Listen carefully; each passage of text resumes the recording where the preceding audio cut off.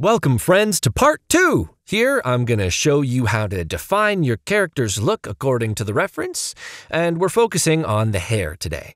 To start, we will duplicate our entire character mesh, and we'll get rid of the entire body. We just don't need it. I just want the head for now. I'll press Del Hidden. Then I use the Z Modeler tool, which is a low poly sculpture tool by ZBrush, or should I say ZBrush. I activate the tool, and pressing Alt, I select all the polygons that I want to keep for my hair base. When you make a selection here, the polygons change color. They go gray. Just like me, I'm getting old. With this, I'm blocking out the area that's going to stay. And the area to be removed is in red there.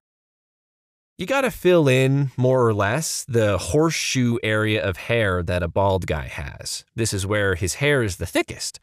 So you want a nice smooth horseshoe here. Then you can delete the rest of the face and forehead. We can tweak a bit using the move brush. I'm going to activate the original body and following the polygons of the original geometry, more or less at this point, I'm bringing out the horseshoe of hair to sit on top of the scalp. You don't need the front or the top of the hair because in the reference, that's where his cool dreadlocks are, which we will deal with later.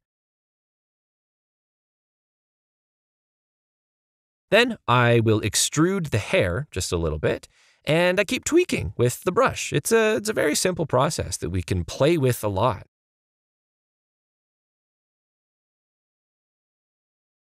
I add a few subdivisions, boop boop, then a Dynamesh, and then a little sculpture a little sculpting. The next step is go to the brush library and select one of the curves.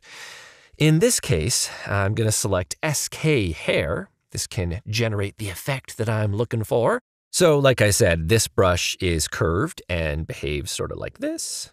But I'm going to edit it a little bit from the stroke menu and rearrange the curve graph like so. The idea is to round off the ends and make sure the strokes are nice and uniform from start to finish. I'm just making sure these dreads will look like the reference guy there. To start applying these dreads, I want to deactivate symmetry. We generate the geometry curves, always keeping an eye on the reference and his super cool hairstyle. What makes this style good to start with is that we already have a low poly geometry, and so I can kind of save myself the retopology process. It's a big benefit when you can work like this, reusing the model's polygons for the hair base, making fast hairstyles. It's just always good to keep things easy and breezy, dude. So I'm playing around here, following the reference, seeing what my heart tells me looks good, doing art. I can adjust later. This doesn't have to be perfect now, but I'm getting a good base down. This is the fun part here. I highly recommend using the different views top, bottom, right, and left views, and always kind of change the plane that you're viewing at. You can use the move brush. Our reference image tells us generally where and how to place these. Little by little, uh, we move the dreads.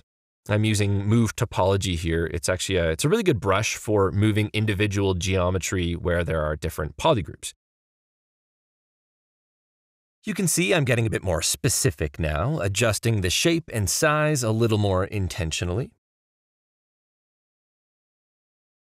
You can also like inflate the geometry a little here and generate more volume for each mesh. Really keep in mind here that there's no wrong way. You're adjusting stuff like this to your own personal tastes, and the reference image just assists in that. And like this, we take each dread towards the middle hair part line of the guy's cranium. So, you know, you just repeat this sort of process over and over and over and over. This can take a good amount of time, so really enjoy it. Savor the process.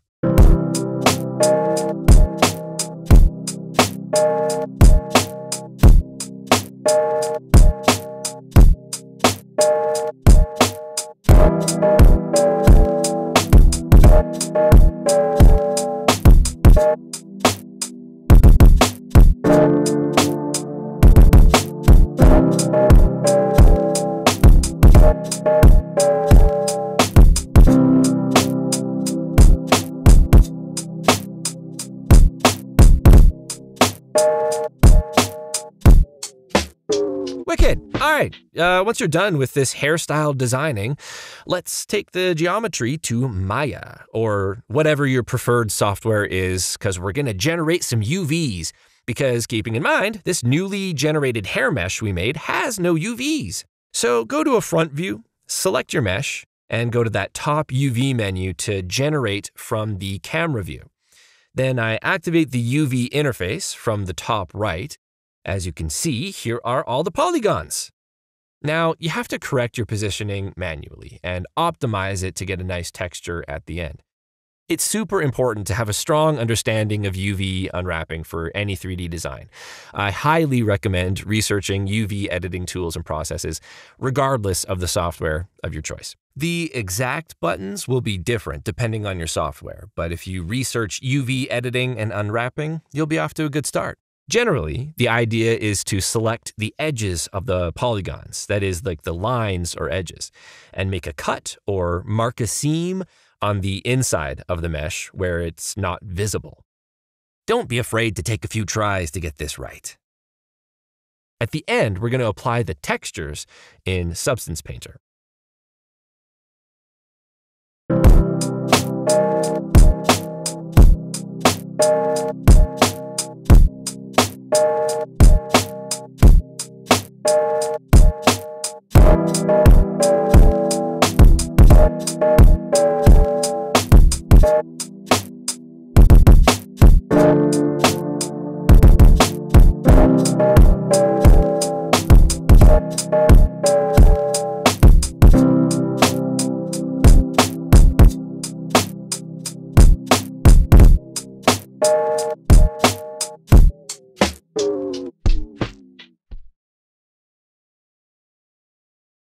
Alrighty, once I'm done, I'll make myself a nice normal map, which we're going to generate directly from ZBrush. ZBrush. Make your mesh white with the mesh resolution at 1. Adding subdivisions here is key to getting the nice round hair, but you don't need it for the normals. Check the 4K box, and you can create your normal map. Boop. Then clone it and export it. I'm doing this to bring the map into Substance Painter, where I can bake some textures, but this isn't necessarily the only method. I'm kind of just showing you a host of stuff so you know what to research in your own programs if you're not using the same ones I am. Inside Substance, I'll import the full character mesh that I exported from Character Creator with his attached textures. Bajoop. I like a more orthographic view.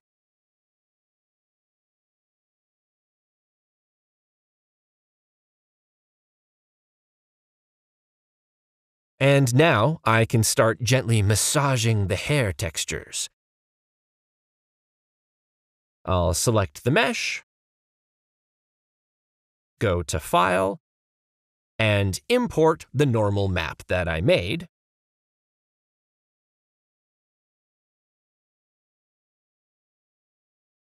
And select my current session. Once it's loaded, you're going to bring your normal to the texture settings. And all that's left is to bake the maps. I recommend doing it in 2K resolution. Let's make sure to get all of our remaining maps, the ID map, the world space normal, ambient occlusion, curvature, position, and thickness. To do this from the baking window, make sure normal is unchecked at the top there and double check your output size is 2K as well and hit bake. And wait a few minutes, you know, just chill out. Bingo bango bongo, quick and easy map cooking. so now we can add color and texture to the mesh. We can also generate some patterns, uh, patterns that give the feeling of like hair textures and shapes and fibers. Keeping in mind, we're making a stylized cartoon dude, so it's not completely necessary to have a ton of details. There are tons of options to generate materials here in Substance, so you can play around a bit. When you're texturing, you're going to want to flip between 2D view and 3D view. That workflow is super interesting because changing between them gives you the best of both worlds and therefore like a better end result. You can copy your colors. For example, for the hair, I actually use the same color that I had painted on the eyebrow uh, that I made in ZBrush. And what I do is I, I reinforce this harmony of overall colors in that way.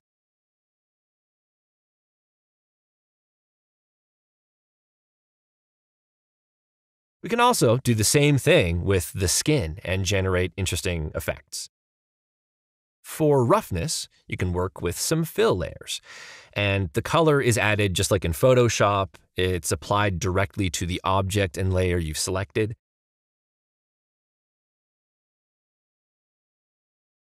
We can also add some patterns manually uh, with the brushes gallery. I really recommend doing it in different layers and switching up the intensity and the pressure of the brush. You can also make some adjustments to the visual resolution of the patterning on each strand of hair directly from the properties of one of your layer tabs. You can tweak the UV transformation scale of the material itself. That is, the higher the value, the detail looks smaller and more repetitive on the mesh. It looks more or less like this. This is another situation where it's up to taste. It's, it's up to you.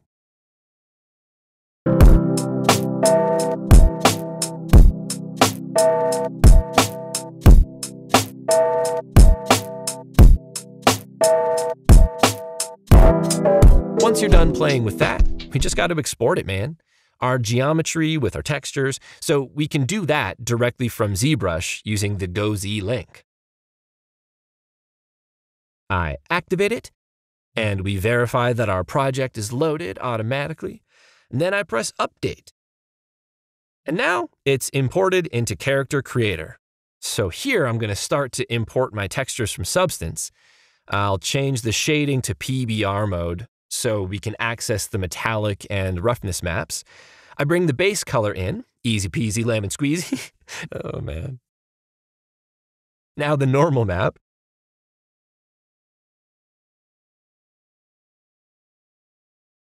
Since we're using the PBR shader, we can add occlusion.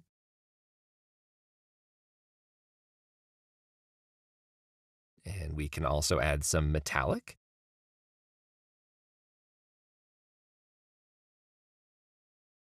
And finally, we can bring in the roughness.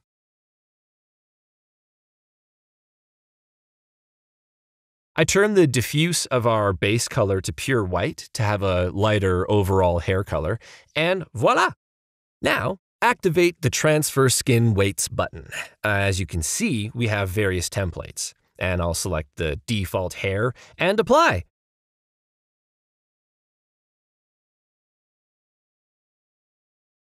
And now we got hair! Yay! And we can do several things with this mesh. I can go to the custom folder in my hair content browser first.